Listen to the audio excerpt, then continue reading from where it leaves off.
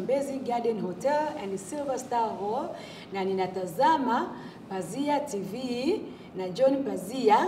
Uh, usisahau kulike, kucomment, kusubscribe Pazia TV kwa content kama hizi za ujasiriamali ili uweze kukua na kupata mafanikio na kuishi maisha unayotaka wewe.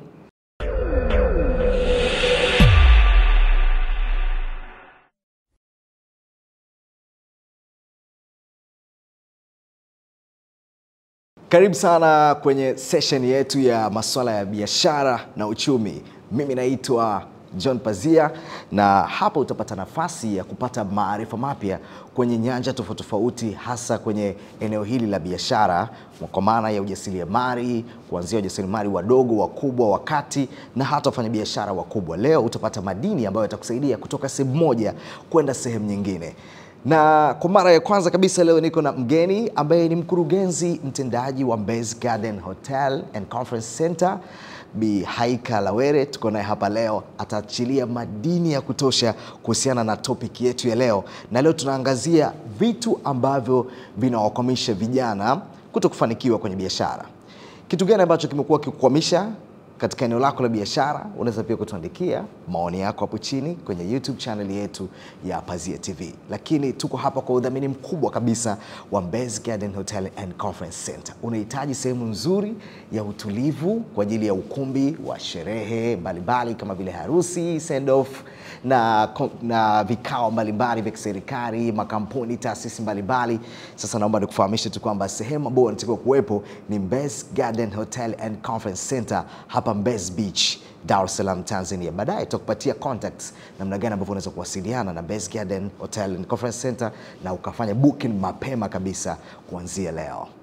Karibu sana my sister. Asante sana Kajoni. Ara mkubwa ambaye una vitega uchumi vingi sana mbalimbali mbali, hapa ndani ya Tanzania na pengine nje ya Tanzania. yes. Napokea. sawa sawa. Topiki yetu ya leo nataka tu, tuzungumzie vitu vinavyowakwamisha vijana kuto kufanikiwa katika biashara, lakini kwanza za kutuambie safari yako ya kibiashara kwa upande wako wewe, ulianzia wapi kwenye biashara? Ilikuwaje kwaje ukaipenda biashara?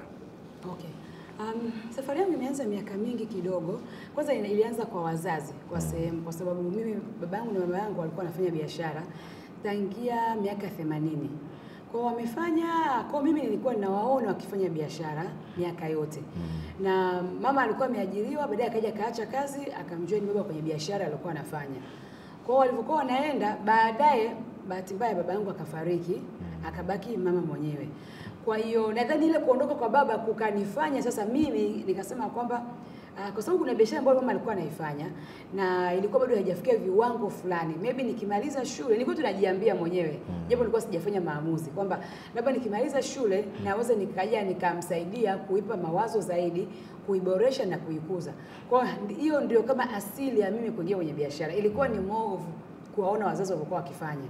Lakini mimi mwenyewe pia nilivyokuja kuwa nimemaliza shule nikaa na ile mentality ya kwamba kuajiriwa ninapata kama limitation ya kukua kwangu mm.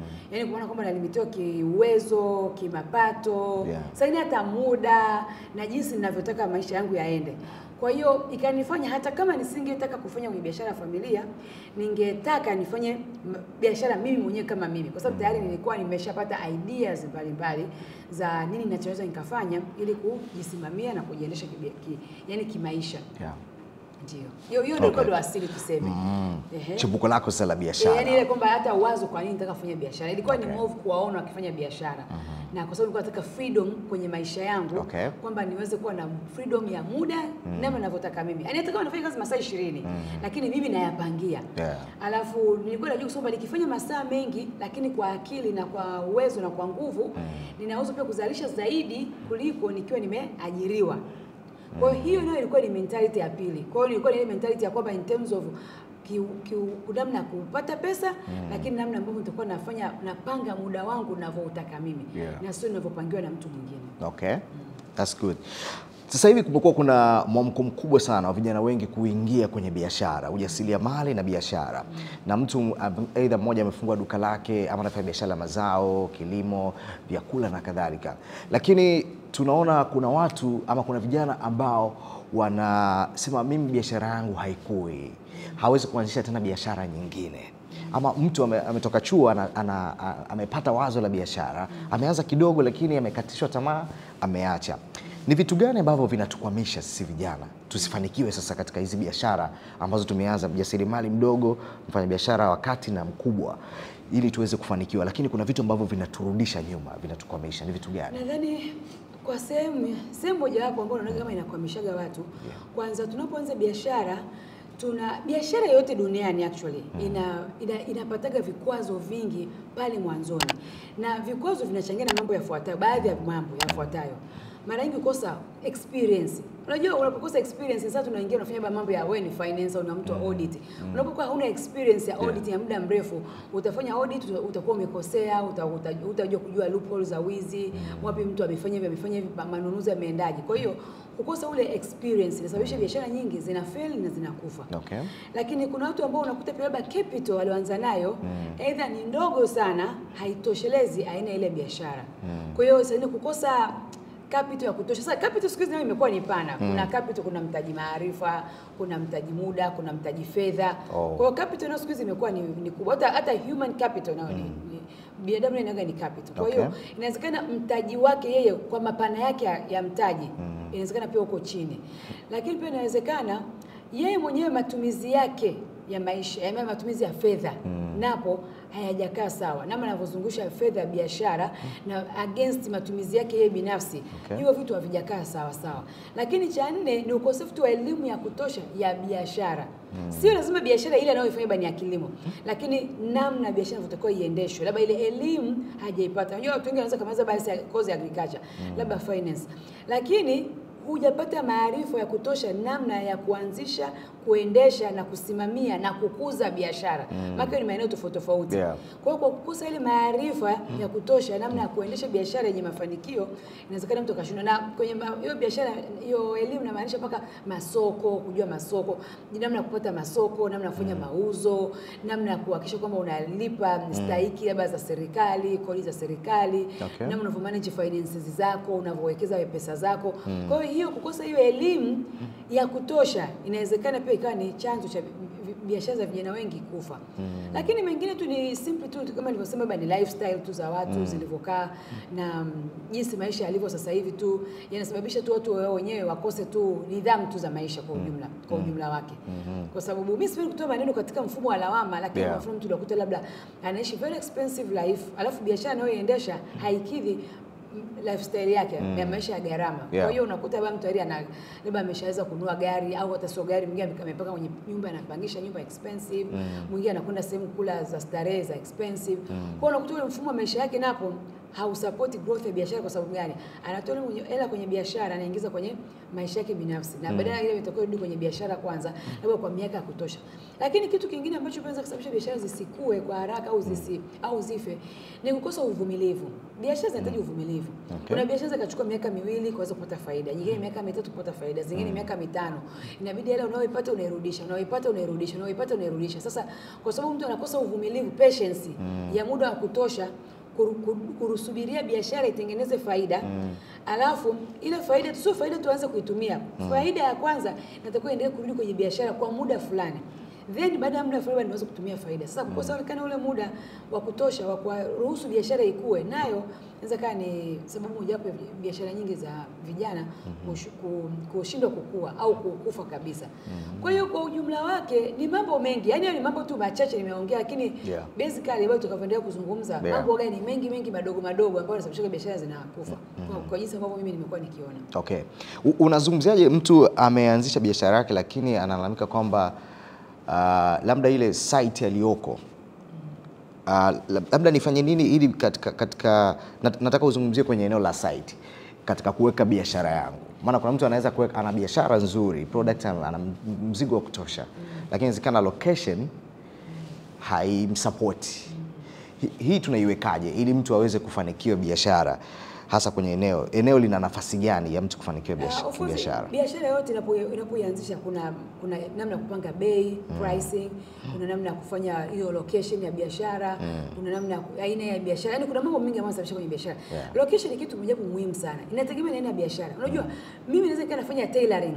Tailoring si lazima nikakae mahali kwenye high street, mm. naweza nikakata Mbezi, lakini mm. kama mimi ni fundi mzuri naweza Yeah. kufikiwa na wateja lakini naweza kufanya biashara ya chakula mm. ni lazima nikaangalia sehemu ambayo kuna shughuli za kibiashara au za kiuchumi mm. niweke biashara yangu ya chakula pia, kwa sababu lazima kuwa kuna watu ambao wana commute kuja kula kila siku. mm. Kwa hiyo location ni kitu ambacho ni cha msingi sana. Sasa inategemea, kwa mfano unafanya ba mitumba, lazima kuwa ni sehemu ambayo ni watu wanaopita wengi, unafanya mm. viatu, unaona vijana wengi wanafanya biashara za mitumba, za Yeah. viatu, labda za urembo, mm. biashara za nguo, biashara za aina hizi ambazo unakuta watu wengi. zile ni sehemu ambayo kuna wapita njia wengi biashara yote kama vitu vya chakula, unafanya biashara za vitafunwa, unafanya biashara labda za vitu vya urembo, sijui saa. Mara nyingi zile lazima kusema ambazo zina watu, lakini siku hizi kwa kutumia teknolojia Yeah. tunaweza kuwafikia watu kwa kutumia teknolojia social media. Kwa hiyo kwa mfano naweza kaa nafanya chakula, si lazima niwe pale Masaki Oysterbay au lazima niwe mtaa Samora. Kama aina yangu ya chakula, mimi kuna chakula vingi tu ambavyo najua watu wa chakula ambao wanauza chakula, lakini kabisa asilimia 80 ya mauzo yao ni kwenye mm. digital platform Yeah. Kwa anatumia kama ni Instagram, anatumia kama ni zile piki, anatumia hizi namna zingine hizi delivery services zingine ambazo kama matangazo yao kule. Kwa hiyo my point ni kwamba siku hizi biashara kwa sababu ya kukua kwa mitandao na internet mm. na hizi digital form mbalimbali Yeah. biashara zaka pia ni kwenye mtandao na kule kwenye mtandao visibility inakuwa ni rahisi kama endapo pia of course kama unafanya matangazo ya kulipa paid ads Yeah. au we mwenyewe tu unajua na utengeneza influence, tengeneza chakula kizuri, piga zako picha nzuri, video nzuri, tuma. Lakini pia ukiwa kwenye sehemu ambayo tayari ina makazi na ina shughuli za kiuchumi Yeah. utauza pia. Kwa hiyo location ni namba moja. Ndio maana lazima unapofungua biashara sasa, unapo study vitu vya kufanya, kimojawapo kujua biashara nataka kuifungua mimi, je, watu wake wako wapi? Labda mimi nataka kuuza saa za kiume. mm. Lazima nijue, je, soko langu ni labda la wanafunzi kati ya form 1 mpaka form 6. Yeah. Je, hawa watu wako mtandaoni? Je, wako TikTok mm. au wako Snapchat mm. au wako WhatsApp? Okay. Sasa ukishajua kama biashara yangu ya saa labda na accessories zingine mm. labda ipo huko, mm. basi wewe jiwekeze asilimia labda sitini au sabini ya matangazo yako huko, na lazima ukubali kwamba utaanza na follower mmoja watakuja wawili Yeah. watakuja elfu tano watakuja elfu kumi lazima uanze. Na mimi nasemaga vijana, kwa mfano mtu yuko chuo, labda yuko ameanza form 4 yuko chuo, labda chuo cha usafirishaji, mwingine yuko chuo kikuu, mwingine sijui yuko wapi. Pale pale ukiwa chuoni, Yeah. anza biashara. Biashara kama za online hazihitaji wewe mtu mpaka eti uweze umalize shule ndio uanze biashara. mm. Why you waiting for three years huko unasoma mahali sijui kozi Yeah. ya usafirishaji?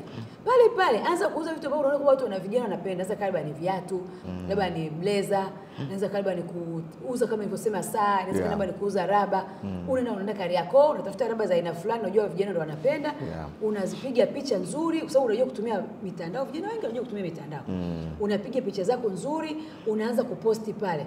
yani utaanza na oda moja, oda mbili, oda tatu, oda nne, usichoke. Yani ile miaka mitatu ya kukaa shuleni pale, ukimaliza wewe tayari mfanya biashara kabisa. Sio hata mjasiriamali unayesema unayeanza, tayari umeshakuwa na biashara ambayo labda ina kutoka mtaji wa shilingi laki moja, tayari unaweza kuwa na mtaji tayari toa milioni tatu, milioni nne, milioni tano. Kwa sababu kuwa shuleni hakukuzuii mtu kufanya biashara. Na peji si unaweza kuweka jina lako au kuweka jina la biashara. Kwa mimi labda naitwa Aika. Yeah. Biashara nikasema tu uh, buy from whatever, buy from whatever Shoeville, whatever the name nitakachochagua kipindi hicho. Au raba bora, au raba za kisasa, au saa za kileo. Kwa hiyo tayari unakuwa una peji yako pale inaenda. Kwa hiyo siku hizi biashara unaweza yani, kwa sababu ya kuwepo kwa mitandao Yeah. inaweza kufanyika muda wowote mahali popote bila kufungwa na na, na location. Location ni factor lakini um, haifungwi na location kama zamani. mm -hmm. Ndio. Okay. Kuna mtu anataka kukuza hiyo biashara yake kwa maana ya let's say labda amefungua supermarket na anataka hiyo supermarket kubwa zaidi. Swala la mkopo lina nafasi gani katika kukuza biashara niliyonayo? E, mkopo itategemea kwa sababu ukumbuka, mkopo ni hela unayoyazima una boro kutoka mahali kwa sababu ya kuwezesha wewe biashara yako either either kuanza au Yeah. au kuikuza zaidi. Na ma- na nakumbuka essence ya mkopo ni hela umeyazima ambayo unatakiwa urudishe. Na mara nyingi hela yote ya kuazima inakuwa tayari ina interest ina riba yeah. ina riba. Riba kwa hiyo kujua ukichukua shilingi elfu ukichukua milioni moja ya mtu labda kuna milioni moja na laki mbili ya kuongeza. Kwa hiyo chukua mkopo kama una sababu ya kuchukua mkopo, lakini mkopo una sehemu kubwa. So mimi mwenyewe nimecheza, sio nimecheza, nimetumia mikopo Okay. kwenye biashara yangu, na huu ni mwaka tangia elfu mbili na tisa nipo kwenye mikopo mpaka leo hii. Sijajua ni miaka mingapi, lakini ukikalkulate unaona kwamba ni miaka kawia kumi na nne labda. Yeah. Yeah. Nimekuwa kwenye biashara kwenye biashara kwenye biashara ya mikopo muda mrefu, na mkopo wangu wa mwisho unaisha kwenye 2027 Okay. mkopo nilionao sasa hivi mm. na kwangu mimi, kwa experience yangu mimi, mkopo umenisaidia kwanza kuboresha biashara yangu and therefore, kwa sababu kuboresha biashara yangu kuniongezea wateja mm. lakini pia mkopo kwangu mimi umeniongezeshea uwezo wa kiakili, kwa sababu nikisha kopa na marejesho mm. unapokuwa na marejesho, akili hailali, haizubai, haigandi na haichukui vitu kwa wepesi mm. kama ni mtu ambaye unanimrejeshaji. Maana kuna watu ambao pia wanakopa kwenda kula na kutumia na kupotezea. Mimi naongea kuhusu ambao ni wakopaji na wana nia ya kurudisha ili aweze kukopesheka tena na kujenga credit history yake. Yeah. Kumbuka pia kukopa unajenga hiyo credit history. Kwa hiyo kwa sababu inajenga, kwa hiyo nimesema ya kwanza inaonge- inaongeza mtaji wako, mm. inaboresha biashara yako, inakuongezea wateja. mm. Kwa sababu kumbuka, mimi nilikuwa najenga kwa mfano jengo tuliokaa hapa sasa hizi halikuwepo. Tuliliombea mkopo. mm. By then ilikuwa 500 M. Na tulichukua miaka mitano tukalipa mpaka tukarejesha yote yote Okay. tukamaliza. Okay. By then 2009 mpaka 2014. 2015 nikachukua mkopo mwingine ambao nijenga ukumbi wa mkubwa wa harusi huko mm. huko mahali fulani hapo, nao ukaenda miaka mingine mitano. Kwa hiyo mpaka 2020 nikawa nimemaliza au 2015 mpaka 2020 nikawa nimemaliza ule mkopo wa pili. Mm. Kwa sababu niko mimi kwenye awamu ya tatu ya mkopo na katika kila mkopo niliochukua uliniongezea thamani kwenye biashara yangu. Mimi siko na conference center, siko na jengo la mikutano hapa. Yeah. Nilipata mkopo ndo nikalijenga na ndo nikaanza kupata wateja wa mikutano. Unaona hata natangaza mikutano, mikutano, mikutano kwa sababu najenga na jengo lina floor nne ambazo ziko aim kwa ajili ya mikutano. Ground floor, first floor, third floor, floor tatu. mm. Na ile floor ya mwisho nikaweka malazi. Unaona? Yeah. Kwa hiyo tayari hapa tayari na jengo la mikutano. Kwa mimi nafanya hapa mikutano mingi na semina nyingi za taasisi mbalimbali. Mm. Kwa hiyo tayari unaona nime, nimeongeza thamani ya biashara, nimeongeza wigo wa wateja wangu, lakini mimi katika kufanya hiyo process nimeongeza uwezo wangu wa kufanya masoko, kutafuta wateja, kuhudumia wateja. Lakini pia jina langu kama brand Yes. imekuwa imekuwa zaidi. mm. Kwa hiyo mimi naona hiyo ndio nafasi kubwa ya mkopo na mkopo unakusaidia kwa maana kwamba kuna wakati fursa zinakuja unakuwa huna hela, kwa sababu hata ilivyokuja hii fursa ya tatu, kulikuwa kuna ukumbi unauzwa mahali Oh. and by then sikuwa na hela ya kununua, ulikuwa ni ukumbi expensive. Mm. Kwa hiyo nikaenda tena kwa wakopeshaji wale wale, nikamwambia jamani, kuna fursa iko hapa, sio hapa nilipo mimi sasa safari mm. ni mahali pengine, maana hapo nimeshakopea mara mbili Yeah. nikaenda mahali pengine, lakini maeneo ya kukumbeza, wakaenda wakapaangalia, wakaona ile ile ile ile project kama mm. iko sawa mm. na itarudisha mkopo. Mm. Kwa ile taasisi ya fedha, kwa sababu tayari mimi na credit history nzuri ambayo nimeijenga mm. kwa miaka yote kumi, sijai kudefault, sijai kukimbia na pesa na sijai kukwama kurejesha hata mm. siku moja. Then haikuwa kazi kunipa, yani kwa hela nilikuwa naiomba mimi nilichukua kama hadi wiki mbili tu kufanya maamuzi Oh, kwamba okay. kwa sababu bibi pitie tu kwenye branch mm. waje wapaone branch, baada ya kuanalyze documents na kila kitu, kaenda makao makuu, makao makuu kuja kaangalia, wakaona mtu ana qualify. Lakini ile fursa ingenipita mm. na nisingeipata kama endapo ningekuwa tayari nimeshaharibu credit Yeah. history yangu hapo nyuma. Ndio maana ni muhimu sana hata vijana wanapoanza leo hii ni muhimu sana wakajenga credit history zao, zitakuja kuwasaidia sana kwenye kukua, kukuza biashara zao na kuzipanua Okay. zaidi yeah. Okay. Sawa. So, Kuna kitu kingine ambacho ningependa kupata pia maarifa kutoka kwako, hasa kwenye eneo la saving. Tunafanya biashara ndio, lakini tuna save kwa ajili ya ya, ya kukuza biashara. Hapa bado tumeona kuna changamoto. Inawezekana nimepata faida nyingi, baadaye mimi kama kijana naanza kupata vishawishi sasa, labda sasa hivi ninunue ndinga ama ni sasa hivi niende zangu Zanzibar paje huko nikajitulize na nini kwenye, kwenye ile ile fedha ya biashara. Hapa nataka utufungue ufahamu zaidi masuala ya kusave, saving inawezaje kunisaidia zaidi, ama ni tahadhari gani ambazo natakiwa nizichukue katika kufanya saving ili isiathiri biashara yangu, lakini pia maisha yaende kama kawaida. Okay, essence ya kufanya biashara kumbuka, mojawapo ni kutoa huduma mm. kwa wateja au kwa wale watu ambao unahudumia una mm. lakini essence ya pili ni wewe kama mfanya biashara kupata rewards, faida wewe kama mfanya biashara Yeah. lakini unapopata zile faida kumbuka ile faida ina kazi tofauti tofauti. Mm. Ile faida kuna sehemu lazima irudi kwenye biashara. Mm. ile faida unatakiwa utoe sehemu ya kujilipa wewe. Kwa kama mimi natengeneza labda kwa mwezi lese labda milioni moja. mm. Ina maana inawezekana labda kwenye ile hela milioni moja labda laki nne inarudi kwenye biashara. Natakiwa mimi najilipa shilingi ngapi? Kwa labda najilipa labda sema laki tatu najilipa mimi kama mimi, alafu inabakia nyingine. Sasa inategemea of kwa kama mtu anafanya tithing, anafanya labda na fungu la kumi, atakuwa ameshatoa hapo Yeah. lakini anatoa ile eneo kurudisha kwenye biashara, lazima uweke labda kama ni laki nne, laki tatu labda najilipa mimi mwenyewe mm. ile inabakia nyingine laki tatu nyingine mwishoni ndio unaenda kuweka kwenye savings, lakini savings isiokuwa na malengo ni rahisi kutumika vibaya. Kwa hiyo tunasemaga neno savings and investing, hivyo ni vitu viwili tofauti. Okay. Savings unaweka hela kwa seki ya kwamba unaweka hela kama kuhifadhi, kama vile unavyosema tunahifadhi nguo, unahifadhi viatu lakini ile- ile savings ni siku hizi hatusemi tuna- kwa sababu ukifanya savings haina faida yoyote. Mm. Savings ilizokuwa na faida ni lazima ukainvest ili ianze kuzaa. Okay. Kwa hiyo ukishafanya ukishakuwa na malengo kwamba savings zangu labda kila wiki nita- nitaweka laki tatu. Baada ya mwaka mara miezi kumi na mbili labda nitakuwa na 3.6. mm. Hii 3.6 labda nitaenda kununua vipande ela ela na- na- mimi una lengo labda naenda kununua vipande vya pesa vya UTT au unaenda kununua labda bondi za serikali whatever it is, inategemea kama ina qualify. Then ile hela ukishakuwa na malengo nayo sio rahisi kuitumia kwa sababu hela yako tayari umeshaigawanya. Shida wa vijana wengi hawaweki malengo ya kipato chao. Unajua kama unaweka lengo la kufungua biashara, lengo la kukua, lengo la kujenga nyumba, hata fedha lazima uweke malengo. Kwa hiyo unasema kama hela hii hapa naenda kuwekeza mahali.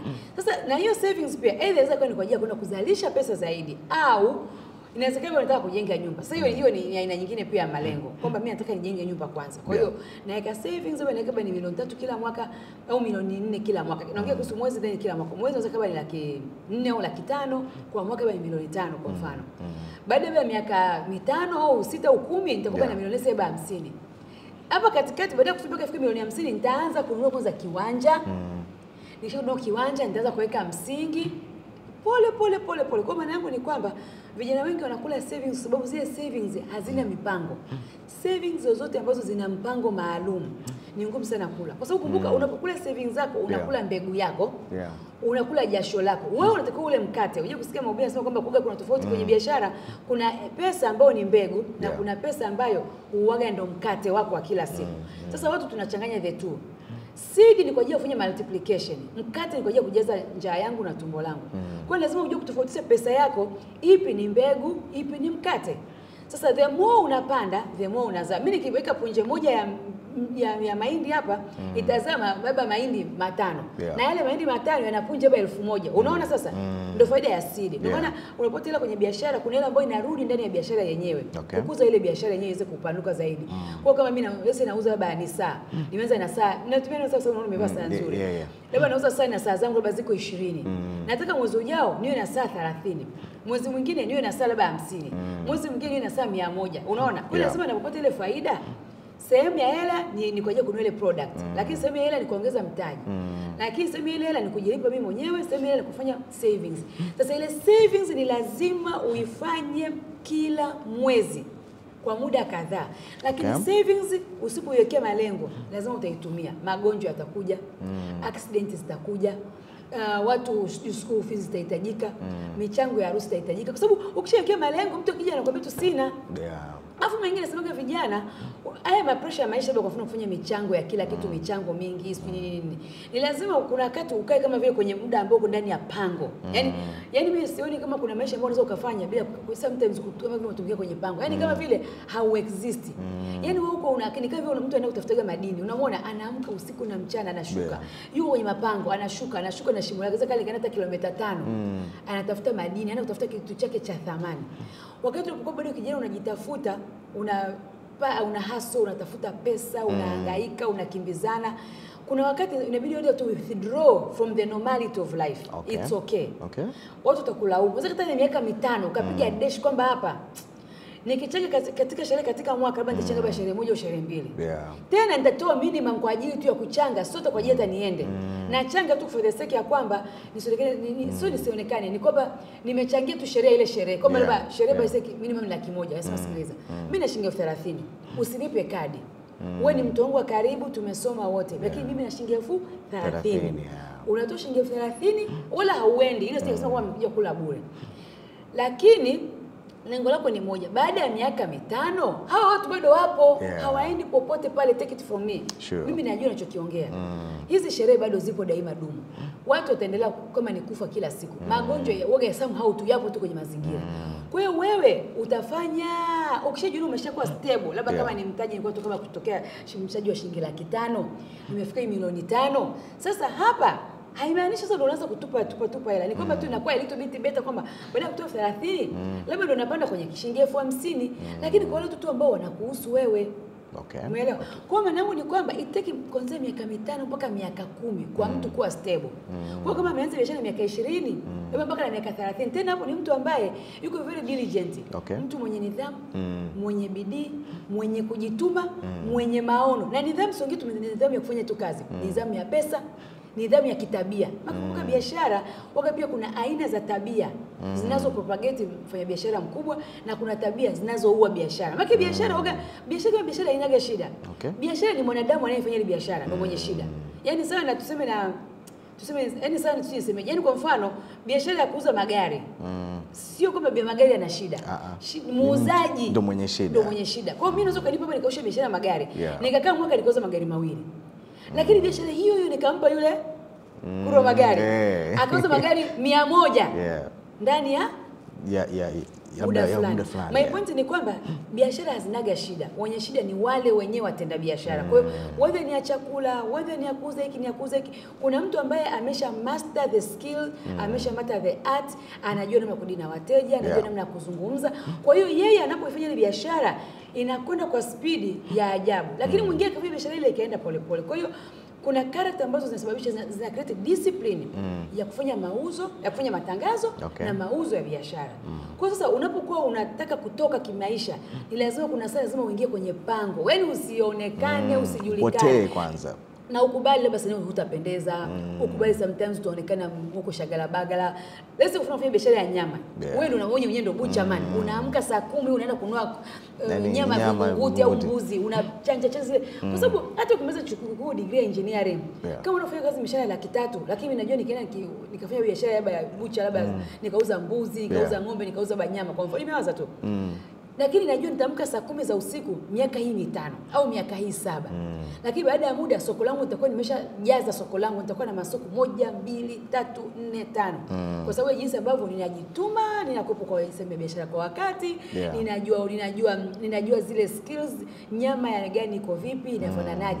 Kwa hiyo my point ni kwamba discipline inakuwa ni sio tu kufika kazini, ni namna ambavyo unaijua ile biashara yako, unavyoielewa biashara yako mm. na jinsi ambavyo una, una dili na watu kila siku unavyodili nao, unavyouza zile biashara zako. Hiyo ndio discipline unayoiongea. Kwa sababu ukishafanya hivyo baada ya miaka mitano, miaka sita, miaka saba, Yeah. then ukishakuwa master mm. hapo hela zinaanza kuingia pasipo hata kuhangaika. Yaani mahangaiko yako yanakuwa sio makubwa kama yale. Na kuna watu mm. ambao hawapendi kuumia. Hakuna gain without pain. Mm. Umenielewa? Sure. Yeah, yani lazima yani kitu chote ambacho ni kizuri Lazima lazima ubebe msalaba wako. Yeah. Vijana wengi wana, wanabeba msalaba mbele miezi sita. Ameshachoka amekata tamaa. Mimi siwezi tena. Lazima niamke alfajiri. Lazima labda sijui nikae biashara biashara demand kukaa sana. Lakini sasa wewe ndio huyu umefungua mgawa. Yeah. Umefunga mgao ndani ya miezi miwili mitatu tu tayari wewe mwenyewe ukai pale, unaenda kula bata mahali, unamwachia mtu afanye mauzo pale kwenye biashara yako ya chakula. Yule mtu anauza na yeye na maisha yake na shida zake. Yeah, kweli. Kwa hiyo mnagawana ile faida atakuwa nakula kila siku. Wakati utakuwa ukae pale, uende ukanunue vitu sokoni, ukimaliza vije vipikwa, vikishapikwa, ufanye mauzo, ukishafanya mauzo au ukusanye ujue hapa gharama nimepata leo shilingi leo nimepata ba laki mbili laki moja na nusu ni kwenda kununua vifaa tena. Hii elfu hamsini ni faida. Nikishaitoa hapo ni kama ni kwenye mkoba Yeah. utaweka, nitaweka benki. Kokote huko utakwenda kuweka ile pesa. mm. Na unatakiwa uende hivyo, sio miezi sita, sio mwaka. Inaweza ibidi uende baba miaka mitano, miaka saba, miaka nane, hata mm. miaka kumi. Consistency hapo. Consistency mm. kwenye kufanya hilo jambo. Hapo ndio utakapoweza kuona faida na utakuwa ndo grand master kwa sababu masters yeah. they are the ones ambao ndo wana make sasa fortunes. Yaani ukishakuwa master kwenye eneo lako. Unapokuwa master maana yake nini? nini? Unaijua biashara. Unalijua soko lako. Unaelewa product zako na service zako mm. umeshakuwa na soko fulani ambalo wale ni repetitive customers ni repetitive Yeah. and therefore pia umesha any yani the whole thing of that business wewe unaielewa whether unauza suti mm. unafanya tailoring unajua vitambaa kama unashinda basi suti Yeah. najua vitambaa vizuri bana nanunua kama ni Dubai au nanunua China najua nikitaka kununua mashati mazuri na nanua sijui nchi gani labda labda Uturuki mm. najua nikitaka kununua nikitaka kununua material nzuri ziko California kwa bei nzuri Yeah. najua nikitaka kumshonea Joni na atakuwa ni ashonewe hivi ashonewe hivi. Pia naweza nikajua pia level yangu ya kuhudumia wateja. Je ni wateja wa chini ni wateja wa kati au ni wateja wa juu? Okay. hilo ni neno ambalo ni, ni mtu yote ambaye anataka kufanya biashara atengeneze faida ni lazima aweze kuwa master. Sasa master haendi kwa siku moja siku mbili. It takes time to be a master in anything. Ndio maana hata kwenye degree unasoma degree ya kwanza miaka Yeah. minne, masters ni kama miaka moja miaka miwili kwa sababu it takes some more years. Inaweza kuchukua miaka mitano au miaka saba kuwa kwenye hii level ambayo tunasema ni undergraduate. Yeah. Lakini ukishafika hii undergraduate level ukaingia kwenye masters level kwenye biashara inategemea na yako biashara. biashara then hata kama umeanzisha shule biashara ikachukua hata miaka nane kuweza kumaster game ukajua kwamba walimu na wamanage vipi Yes. watoto na manage vipi mm. ada tulipewa ada kiasi gani mm. niwekeze hela kiasi gani mm. kodi za serikali zikoje compliance issues na yafanyaje Sure. sasa baada ya kuwa umeshakuwa master mara nyingi pale ndio eneo ambalo unaweza kutengeneza faida mm. na ndio unaweza kwanza una- unakuwa na systems unakuwa umekodisha ume, umelipa watu vizuri unaweza kuwa na watu ambao ni wa skilled labor unaweza kuwa na mtu kwa delegate unaweza ukasafiri unaweza ukaondoka ukaenda mbali na ukabidi systems ambazo zinajiendesha mtu yote ambaye ni master pia amesha build systems Yeah. si lazima yeye awepo pale muda wote. Ana mtu ambaye ni kupokea wageni, ana mtu ambaye ni HR, labda ana advocate ambaye ni labda ni external mm. advocate. Kama ni ana shule, anajua walimu wake na wamanage vipi, anajua mm. nani ambaye anajua kusimamia wa academic, wa- nani anasimamia discipline, nani anasimamia mazingira. Yeah. Kwa hiyo the whole thing is that is mastering. Mm. Unaona? Sasa mastering maana yake ni kwamba haimaanishi unaondoka unaacha kila no no no. no. Yaani una unakuwa na ile art ya kusimamia in such a way system zinajiendesha. Wewe ukiwa una oversee closely. Yeah. Yeah. That's nice. Tuko na Haika Laweri ambaye yeye ni mkurugenzi mtendaji wa Mbezi Garden Hotel na tunazungumzia jinsi gani ambavyo tunaweza tukatoka sehemu moja kwenda sehemu nyingine kibiashara, vitu ambavyo vinawakwamisha vijana kutofanikiwa katika biashara. Moja kati ya kitu ambacho tutamaliza nacho ulizungumzia uh, kuhusu masoko. Nataka tuigusie kidogo. Inaonekana vijana wengi tumeridhika, hataki kuongeza wigo wetu wa masoko ama kujitangaza zaidi it means a brand to brand ile ile bidhaa zetu ama la masoko kujitangaza zaidi Okay. Uh, somo la masoko gani pana sana. mm. Uh, unaweza kuongea hata saa nzima usimalize eneo la masoko. Yeah. Lakini kwa kifupi tu ni kwamba biashara yoyote una kwanza ili ijulikane lazima iende sokoni. mm. Alafu ujue je inahitajika? Okay. Umeona? eh? Ukishajua inahitajika sasa unatakiwa uwe na namna okay, either ni mifumo au ni wewe mwenyewe kujua namna kulifikia soko lako. Na kazi ya kufanya matangazo mm. ili uweze kufikia soko ni kazi ambayo iko daima dum as long as una biashara. mm. Hakuna siku hata moja utaacha kufanya mm. matangazo au kufanya awareness ya, Yeah. ya biashara yako, yani kucreate awareness ya biashara yako. mm. Kwa ni lazima uwe sasa na utaratibu za namna gani za kuhakikisha kwamba biashara yako una create awareness kwenye soko lako. Yeah. Sasa siku hizi kama nilivyosema, kuna aina nyingi za kuleta awareness. Kuna mm. mtu mwingine tu ameweka tu bango lake kubwa, mm. watu wanapoenda wanaporudi wanaona ile biashara imeandikwa pale baba leo si pazia TV. Akienda kirudi, anapoenda anaporudi barabarani anaikuta bango kubwa. Yeah. Hiyo ni njia mojawapo ya matangazo. Mtu mwingine anakuwa na vipindi redioni, watu wa- miti shamba. Mm. madaktari wale madaktari Yeah. bingwa hizi, madaktari Mm, bingwa watu wa nini. Eh, watu walishe, watu wa ngozi, watu wa vipodozi Yeah. kwa sababu soko lao lingi la watu wanaotazama TV. Kwa ni lazima kila siku as long as anaongea, as long as anazungumza, as long as ana share mambo ya afya, mambo ya vipodozi, mambo ya beauty. Yeah. Kwa hiyo ni lazima as long as biashara iko pale, ni lazima unafanya matangazo mm. na ku create awareness na kufanya public uh, whatever awareness of what you do. Lakini sasa kama nilivyosema, inategemea mwingine ni kwenye bango, mwingine ni kwenye TV, mwingine ni kwenye redio, anatoa mafunzo kwenye redio, elimu kwenye redio. Yeah. Wengine sisi ni kwenye digital media mm. ambao sisi wengine Instagram na Facebook Yeah. ili na WhatsApp umeona mm. ni kwenye social media kwa sababu mimi asilimia karibia 98 au 99 ya soko langu liko kwenye social media mimi mm. wangu huko mbali Mbezi tena ndani ndani mm. nani ataweza kujua Yeah. lakini kwa sababu kupitia matangazo mimi naweza nikaa nimekaa hapa Mbezi lakini nikaa labda ni ukumbi namba moja mm. kwa kuwa na wateja wengi mm. kwa nini kwa sababu nimemaster the art of marketing my business mm. na kwa kujua kwamba audience yangu ipo kwenye social media mm. nina focus ya asilimia tisini ya resources zangu kuweka huko kwa hiyo mengine nadhipia mengine ni simple nafanya tu daily posting na sasa imesema soko topic ya soko ni pana kwa hiyo sijui niongee kiasi gani lakini naongea tu kidogo. Yes, yes. sehemu moja hapo kufanya masoko pia ni kulipa matangazo. Kuna watu ambao na sponsored ads. Ni sehemu muhimu sana kulipa. Lakini sehemu nyingine ni wewe mwenyewe unapokuwa kwa mfano nafanya harusi. Na post zile events kila itopo leo live kufanya page iwe live na iweze kuwa ina fuatwa na watu. Unajua watu wanapenda vitu ambavyo vina happen. Yes, mambo ya sasa mambo ya leo. Ah, kuna mm, mafuriko kuna vita mtu kwa uawa mtu kafumaniwa tunapenda hiyo. Mm. kwa hiyo sasa page yako inategemea. Kama unauza vitu tangaza kila siku. Mm. weka timing. Yeah. kwa mfano mimi yoga nina muda na matangazo nafanya usiku saa sita usiku saa saba.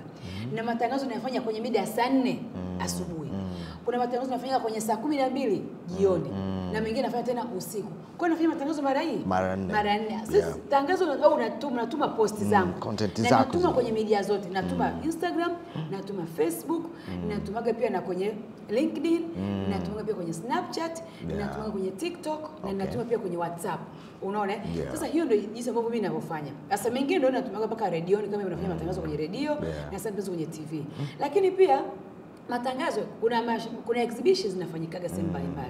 Kwa mimi- Maonesho. maonyesho mm. maonyesho kifanyika mahali na mimi na kama banda bani ni laki tatu laki nne inategemea. Yeah. na mimi naenda natengeneza banda langu pale naweka banda zangu kama hizi nakuwa na brochure zangu. Sometimes nakuwa nimerekodi ba ile clip nakuwa na screen yangu kwa nyuma naweka natangaza. Umeona? Kwa sababu pia watu wako pia wanaweza kawa wako kwenye engo tofauti Tofauti, yes, Ndio nikasema art of doing marketing ni art unaifanya kila siku na kila saa na kila itopo leo haina Okay. mwisho na haina mwisho mm. na ni lazima ujue kabisa kwamba the more unafanya marketing the more una una, una instill una implant your brand kwenye akili za watu mm. kwa mtu akiweza kuhusu chakula anaanza Yeah. Mbezi Garden akiweza kuhusu conference anaanza Mbezi Garden yani kama mm.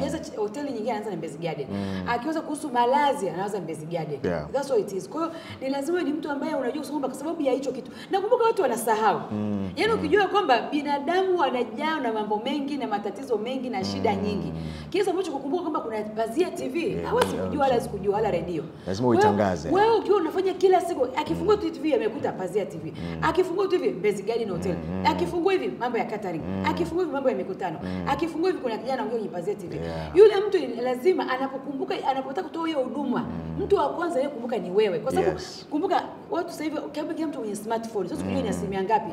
Labda asilimia ba- tisini na zaidi. Kila mtu yuko kwenye social media. Ina maana ni muhimu kutumia hii media kwa sababu kwanza ni bure. Yeah. Lakini ukiweza kwenda kwenye media zingine ule mgudu ukipata redio nenda ukipata tv unaenda sasa una kutoa elimu ya biashara yako nenda whether ni mambo ya bima ni mambo ya watoto ni mambo ni ngo wewe nenda Yeah. kwa sababu kama nilivyosema huwezi kujua wateja wako wako kwenye eneo gani wote Mm. kuna wale ambao unajua kwa eneo fulani. Mimi najua ambao kwenye social media lakini unajua kuna wengine ambao hawako hapa Mm. kwa hiyo mara nyingi naenda kwenye shughuli zingine Mm. pia eneo lingine ambao mimi naendaga sana pia ni kwenye events mbalimbali zinazoandaliwa na taasisi za kibiashara Okay. kuna taasisi ya biashara za wanawake mm. kuna zile kama TPSF labda watu taasisi mbalimbali zinaandaga matukio ya kibiashara huwa mm. naenda kule Na nikienda kule una network una Okay. network mm. moja sehemu moja ya kufanya marketing mm. unapo network watu unajitambulisha wewe ni nani unafanya biashara gani natoa Yeah. huduma gani na what are the benefits that you are selling to the person what are the value you are selling to the market mm. kwa hiyo yule mtu anaweza kuona kama akihitaji ananunua. Lakini hata kama hahitaji saa hiyo hiyo ukishamaliza ushapata zile contact una Yeah. keep in touch.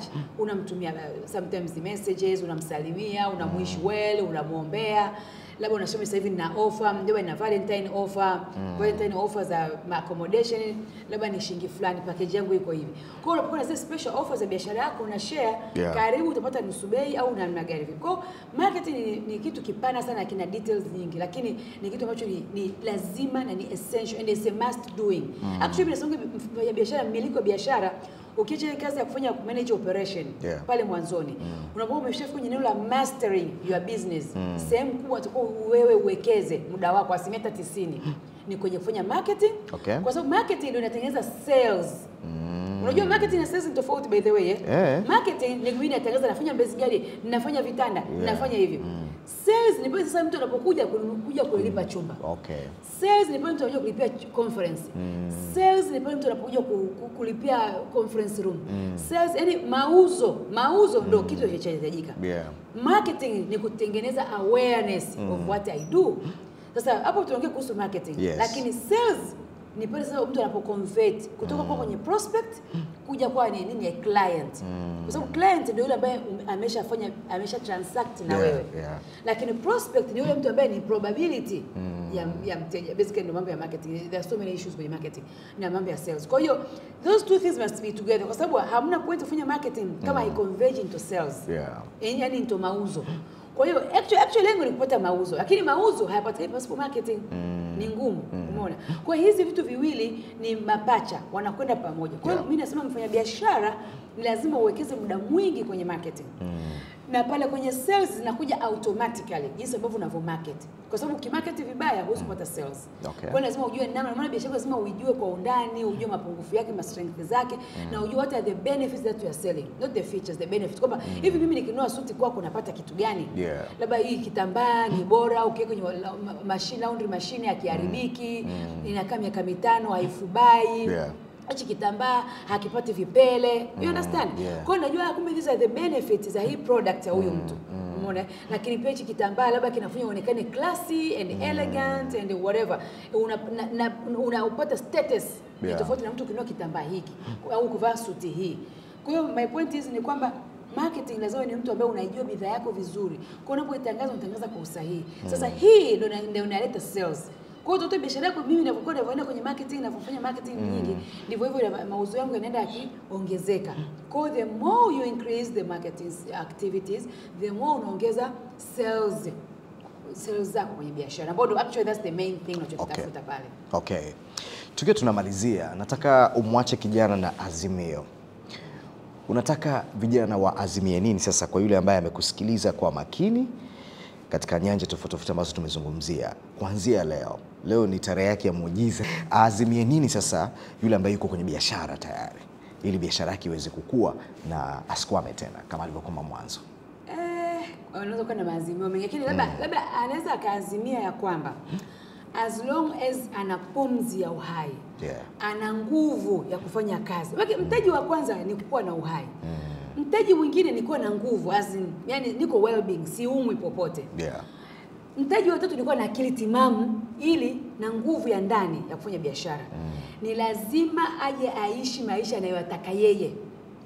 Sio mazingira yamempa maisha gani. Yaani unajua mazingira yanaweza kukupa maisha yote, si unajua? Irudie tena, irudie tena. Ni lazima azimie kuishi maisha anayoyatamani yeye, anayoyataka yeye Mm. na sio ile maisha ambayo mazingira yamempa. Unajua mazingira yatupaga maisha mabaya sana, Sana. na maisha ya hovyo sana Mm. na maisha ambayo hatuyapendi. Si unajua mazingira Yeah. yatupaga, yani nature Yeah, yes, ina nature. give us the things we hate. Mm. Inakupa the bad spouse, Mm. inakupa a bad person, Mm. inakupa bad sometimes sometimes sometimes parents can be really not bad but weird, yeah. you know. Yeah. Lakini wewe kama kijana ambaye unafanya kazi, unafanya maisha, ni lazima uazimie kuishi maisha unayoyataka yeye, unayoyaota ndoto wewe kama wewe, mm. kuanzia mahusiano yako, Okay. kuanzia biashara yako kuanzia mafanikio yako na kuwataka future yako, na hata kama utakuja kuwa na familia yako unayoitaka wewe.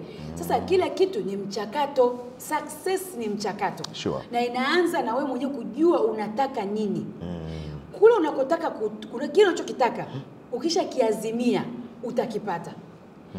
Sacrifice inayohitajika pale katikati ndio watu wengi waga hawaitaki. Yaani mimi kwa mfano mimi naweza kusema sitaki kuwa na simu ya, ya jicho moja. Nataka simu tano. Lakini kuna mchakato kupata pesa kununua Yeah. simu ya milioni tatu. Yeah, yeah. sasa ule mchakato pale katikati kuna sacrifice nyingi za kufanya.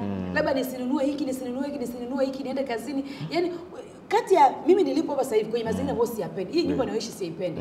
Hapa nilipopangisha nyumba siipendi. Hawa watu naoishi hapo siwapendi. Mimi nataka nika nije Nihamie niishie. mm. ni- nitoke kwenye kuishi labda huku maporini huku ma, uswahilini nataka nikaishi uzunguni. Hiyo ukishafika kichwani mwako hakuna binadamu anaweza kuzuia isipokuwa wewe mwenyewe. Na unajua ni kwa nini ni wewe mwenyewe? Yeah. tamaa.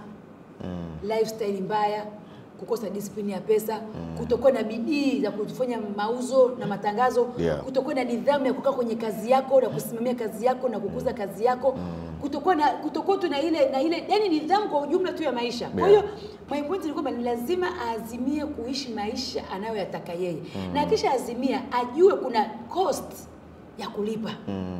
na hiyo cost ya kulipa ni lazima alipe yeye mwenyewe hakuna mtu mwingine kumlipia. Yeah. kwa kama natakiwa kukaa kwenye biashara yangu asubuhi mpaka saa kumi jioni nitakaa. Mm. kama natakiwa niamke nikafanye moja mbili tatu kwa mimi ni mjenzi natakiwa nikasimamie site vizuri nika supervise na kisha kwamba nyumba imejengwa kwa ubora kwa viwango.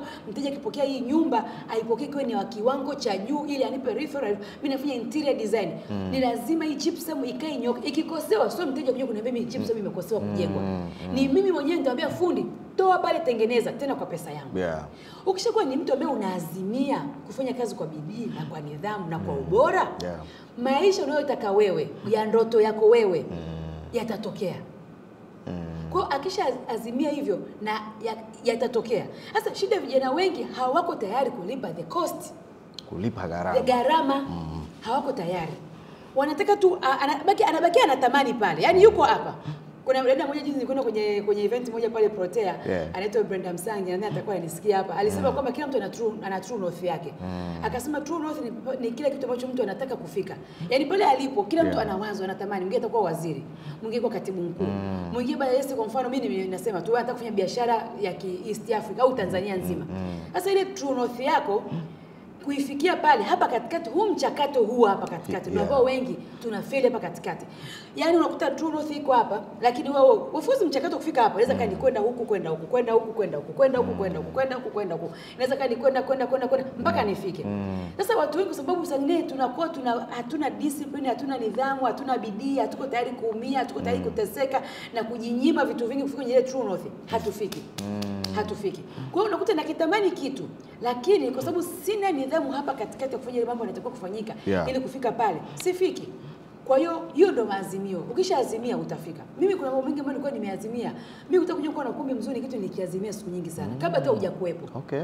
Okay. Kutakuwa kuwa na hii conference ni kitu ambacho nikiazimia Yaani kama kabla sijachukua mkopo ni kitu ambacho nilikuwa nacho miaka mitatu nyuma Mm. unaona na sikuwa na account zinazotosheleza fedha mm. sikuwa na bank statement zinazotosheleza sikuwa na uh, title sikuwa na security mm. yani sikuwa na ile uh, title deed inayohitajika Yes, yeah. sikuwa na mahesabu sikuwa mm. na chochote kile kwa hiyo nikaanza ule mchakato kwa miaka kama mi, tangia 2006 nikaanza mchakato mpaka 2009 mwishoni hapo 2010 mpaka nipo nikaweza kuqualify. Nilipoweza kuqualify lakini mchakato wa mambo mengi sana yalifanyika hapo katikati katika miaka mitatu na nusu. Yeah. mpaka nikaqualify kukopesheka. Ndio nikapata mtaji nikajenga hili jengo. Baadaye tena nikataka kujenga ukumbi wa harusi. Lakini sio sio kama nilikuwa na qualify kihivyo bado I had to do mambo kadhaa kadhaa hapo katikati. Yeah. ili niweze kuqualify kupata ile pesa. Unaona? Kwa hiyo mimi nakuwa na, na true north yangu ambayo naitamani mm. ninapokuwa naitaka ile true north katikati ya mimi na pale nataka kufika Yeah. huu mchakato katikati hapa sasa ndio woga ambao watu wengi tuna unatushinda na ha, mtu akiniambia kwamba anafanya biashara inakufa maana yake ni kwamba inapofanya biashara inakufa kuna mambo unayoyakosea kwa sababu biashara hiyo unayofanya kazi inakufa kuna mwingine anaifanya with mastering Na anafanikiwa. anaimaster vizuri mm. anaiendesha na inafanikiwa Yeah. wewe ukiona unaanzisha inakufa inaanzisha inakufa ni kwa sababu kuna skills huzijui wewe kama wewe mm. na kuna vitu unavikosea kama wewe kama wewe ndio maana unaamka unaanguka unaamka unaanguka mpaka siku utakapojua nini umekosea hapo ndipo utakapotoka. Na ndio maana ile shule ulikuwa unarudia shule ukiwa primary school yeah, yeah. au secondary. Mtu anaenda darasa la 4 anarudia la 3 la 4 la tatu. Anaenda la 5 anarudia. Ana- unajua kwenye kwenda rudia? Haja qualify kule darasa linalofuata. Yeah, yeah. na kwenye biashara na maisha ndio hivyo hivyo. Hata kwenye kazi kuna mtu anakaa kwenye posti moja miaka kumi hasogei. Ina maana labda kunatakiwa labda anatakiwa akasome labda apate degree apate masters apate elimu. Labda kuna kozi ya kompyuta atakiwa akasome. Labda kama ni kwenye sheria atakiwa akafanya ba, ba akafanya ile masomo sio itoka ba kufanya ile cheti cha nani whatever. mwingine anatakiwa afanye ba banki atakiwa apate certificate. Mwingine atakiwa ba improve the way anavyo look the way anavyo communicate the way anavyoangalia mtu mwingine anakaa pale labda ni mtu ambaye ni mbea ni mnafiki anawasema watu ana- ana- ana- anatengeneza stories. Hakui. Anaweza kana qualification lakini behavioral yake Yeah. character yake haimruhusu kukua kwenda popote pale. Kwa sababu utasema huyu huyu alikuwa na majivuni huyu tumpeleke wapi? Anakaa kwenye kiti kile kile amewekwa gundi kama super glue. Hasogei. Kwa sababu ya karakta yake na tabia yake na mwenendo wake. Kwa sababu ni mtu mwenye kiburi mwenye dharau anafokea watu labda ni mnafiki labda ni mtu ambaye anawasema watu ana backbite. Kwa hiyo hawampendi tu anakuwa apendeki kwa sababu tu ya Yeah. tabia yake. Kwa hiyo my point ni kwamba ni lazima watu wawe wana desire. Alafu wajiulize ni gharama gani ya kulipa hapa? Alafu kwa nini mimi naanguka na kuanguka na kuanguka na kuanguka? Kuna kitu nakosea. Kwa nini nabaki darasa la tatu miaka mitano kwa darasa la tatu? Huu mtihani naufeli. kwa nini na ufeli Yeah. ni kwa sababu sijui kuandika ni kwa sababu sijui kuandika Kiingereza labda ni mathematics siwezi. Sasa lazima niende kwa mwalimu wa math. Yes. niende kwa mentor Mm, au niende kwa role model Yeah. au niende kwa wewe ndio hata kama ni- nilikuwa na, ni kodi au nini ulikuwa unafanya unaweza kulipa kodi unafanya kufanya mauzo sababu hakuna mm. biashara tukifanya chini ya jueli ambayo haijawahi kufanyika. Haipo. Almost haipo. Kila biashara imewahi kufanyika. Inawezekana tu ndio hujui kama ipo mm. lakini biashara karibia zote Zishafanyika. au ni product unless unataka kununua kununua product mpya je kutengenezwa. Mm. lakini za kawaida sio nguo za chakula sio mapambo sio harusi sio sijui mambo ya posta sijui mambo ya mm. baba shop sijui mambo ya nguo sijui mambo yote yameshafanyika. Ila tunachokifanyika sisi binadamu wa kawaida tunaongeza thamani kidogo kwenye kile kitu tunachokifanya kwa kama ni nguo kulikuwa kuna suti zinafanyika nguo zinashonwa kama hizi Yeah. lakini tunachofanya mimi nikija Aika natafuta nini niongeze cha thamani ili mimi niwe tofauti therefore ni command soko kubwa zaidi Yeah. Umenielewa? Yeah. Kwa vijana ni lazima waangalie ni wapi anapokosea, kwa nini anaanguka, kwa nini ameshikwa kwenye kamba hapo darasa la tano ashukufika darasa la kwanza. I mean, kwa nini kashikiwa kwenye darasa la tano? Kwa nini kashikiwa darasa la kwanza? Ndio maana kuna watu wanataka ndoto wako shule kila siku. Mm. Kila siku ndoto uko primary school. Kuna siku Makasagi alisema ukiwa na ndoto ndoto, si ni Makasagi kuna mtu alisema kuhusu ndoto. Akasema ukiwa ndoto uko shuleni, maana kwenye maisha kuna vitu unavikosea kila siku. Ndio maana unatoka shuleni. Tena wote uko hata university. unatoka ah, uko uko primary school Mm, na ama- unaota kule primary school kule kule. Maana kwenye maisha kama inaweza kana eneo la mahusiano, Yeah. labda ni makuzi ya watoto, mm, labda ni biashara, inawezekana ni kwenye keria, inawezekana ni ofisini, kuna kitu ambacho unakikosea na unazunguka kwenye mzunguko huo kama leo na Israeli, unazunguka hapo hapo. mm, Na ukishangaa utashangaa mpaka unastaafu uko hapo. Uko pale pale. Unafia pale pale.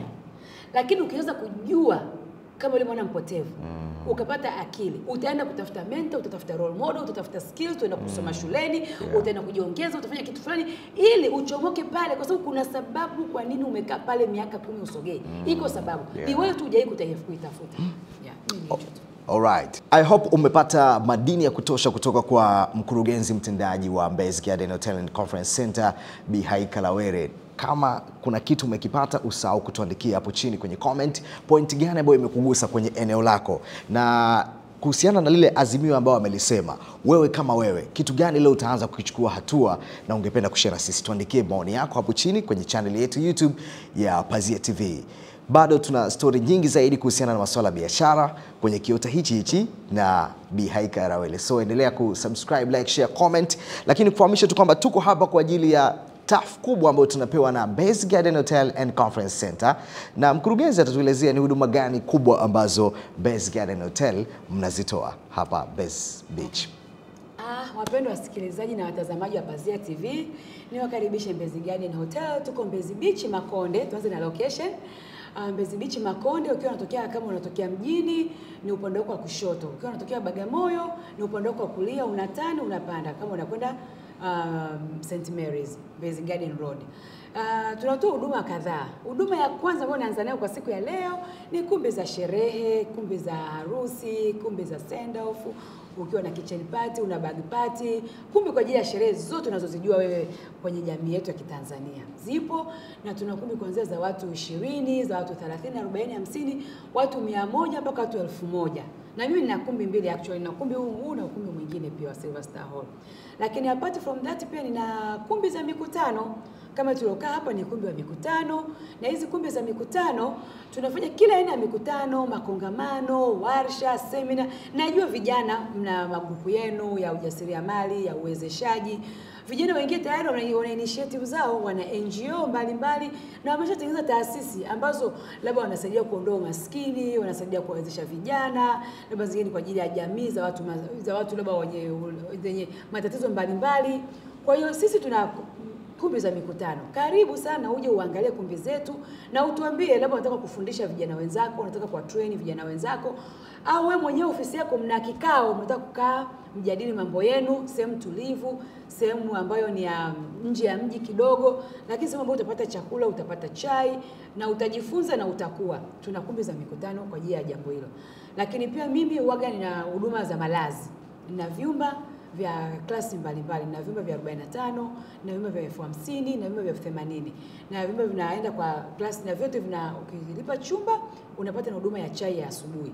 Lakini kuna mtu mwingine atakuja kuja for honeymoon, waga nina vyumba ambavyo nakupatia vikubwa, tunakupambia vizuri, unakutengenezea vizuri, tunakuwekea kinywaji unachokitaka.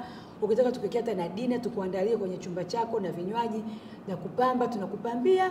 Wewe ukishafanya harusi yako kwenye ukumbi wote Dar es Salaam, unakuja hapa na wewe na mke wako, mume wako mpendaye, mna spend your honeymoon. Lakini kuna mtu mwingine anniversary, amekaa kwenye ndoa mwaka, miaka miwili, miaka mitatu, minne, mitano, anataka kusherehekea anniversary yake na mwenzake.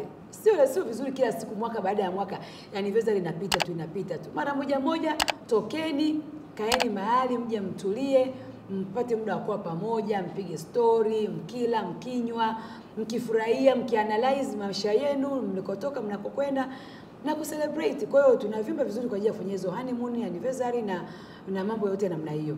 Lakini pia mimi nafanya kazi za outdoor catering. Ninafanya corporate catering. Kuna watu ambao wanakuwa wanafanya mikutano, seminar, makongamano nje ya Mbezi Garden. Na wanataka tu au wana maofisi yao wanataka tuwaletee chakula. Mimi nafanya chakula kwenye hizo corporate events mbalimbali na labda hata kwenye maofisi. Kwa hiyo mtu atakaye anataka chakula mahali fulani watu 30, chakula mahali fulani watu 50 na kuleta. Lakini pia nafanya sasa catering kwa ukubwa, kwa maana kwamba kwenye sherehe za harusi. Watu wakiwa 800, 1000 tunafanya catering. Tunafanya mambo ya barbecue, kutaka nyama choma, unataka sijui kuku, mbuzi, mafoili, unataka chochote kile tunakuandalia kutakata vitafunwa, unataka sio vitumbua, maandazi, kalmati, tunafanya. Kwa hiyo tunafanya kata hii katika mapana yote.